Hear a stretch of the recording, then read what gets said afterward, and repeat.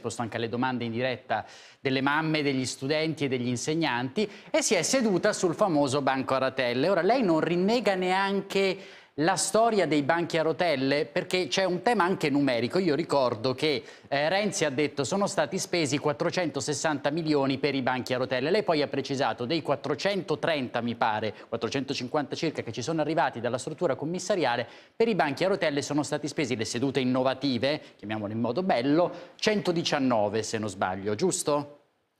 Allora, ma per, per, quale motivo dovrei rinnegare i banchi a Perché l'hanno criticata nel suo stesso ma governo, Possono criticare quello. quanto vogliono, adesso però spieghiamo una volta per tutte, spero, la questione dei banchi a rotelle. A, i banchi a rotelle, chiamiamoli così, sono 400.000 su 2 milioni e 4. B, sono costati in totale tutti i banchi, tutti i 2,4 milioni di banchi, 325 milioni, i banchi a rotelle sono costati 119 milioni. C, C, li hanno scelti i dirigenti scolastici, che sono persone molto più preparate rispetto a chi ha fatto una becera campagna elettorale sulla scuola. Perché chi è chi... che ha fatto una becera campagna elettorale? Lo sapete meglio di me. No, lo dica lei. No, no. Dica... Noi siamo ingenui, no, io la Panella, siamo un po' siete più che preparati, ma è lei. stata fatta una squallida campagna elettorale contro i dirigenti scolastici che quei banchi a rotelle li hanno scelti. Perché li hanno scelti i dirigenti scolastici?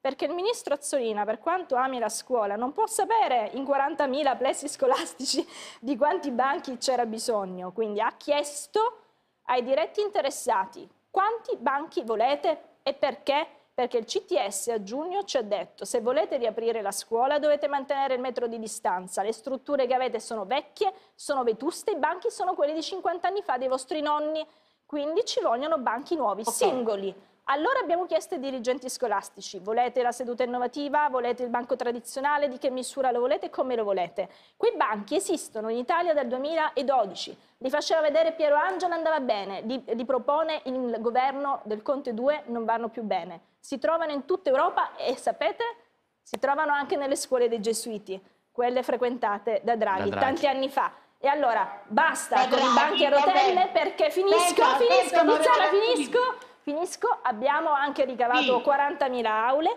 quest'estate, 40.000 aule significa lavoro alle imprese, modernizzazione degli edifici, abbiamo messo 70.000 personale in più, ATA e docenti, nessun paese d'Europa lo ha fatto, abbiamo messo 3 miliardi sulla scuola e 10 miliardi in un anno, quando troveranno qualcuno che farà di meglio rispetto a questo ne riparleremo. Tiziana, tu scegli. Allora, io sono consapevole insomma, che c'è anche un orgoglio delle cose fatte ed è assolutamente legittimo. Le chiedo, onorevole Azzolina, solo perché c'è una difficoltà legata al collegamento, quanto mi piacerebbe oggi essere in studio, ma, ma insomma, ritornerò, ritornerò e, ci sarà allora, le chiedo, allora faccio domande brevi e le chiedo risposte brevi. Intanto, la prima resto ancora un attimo ed è l'ultima domanda sulle su questi benedetti banchi a rotelle. Io non ho capito, fu una scelta sua o di Arcuri? Fu una scelta, il CTS ci disse che dovevamo avere banchi singoli perché questo favoriva il distanziamento. I banchi singoli sul mercato erano di diverso genere, tutti quelli che l'Italia aveva e noi abbiamo detto ai dirigenti scolastici scegliete quelli che sono più adatti per la vostra scuola. Se volete fare una scuola, una didattica più innovativa potete scegliere anche questi hanno scelto i dirigenti scolastici okay. sulla base delle esigenze delle singole scuole e del modo in cui intendevano fare didattica. Tiziana, abbiamo il tassativo.